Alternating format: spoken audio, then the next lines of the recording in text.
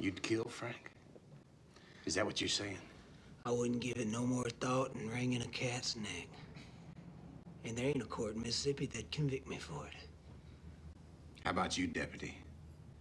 How you with wringing necks, huh? Just keep pushing me over, boy. Get this straight, you corno fucker.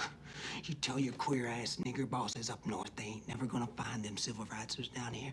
So you might as well pack up your bags and head your ass on back up north where you belong. Boy, go! Oh! oh! And you get this straight, shit kicker.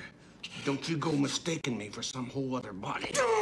You got your brains in your dick if you think we're just gonna fade away. We're gonna be here till this thing's finished. How about you, deputy? Is that gun just for show? Or do you get to shoot people once in a while?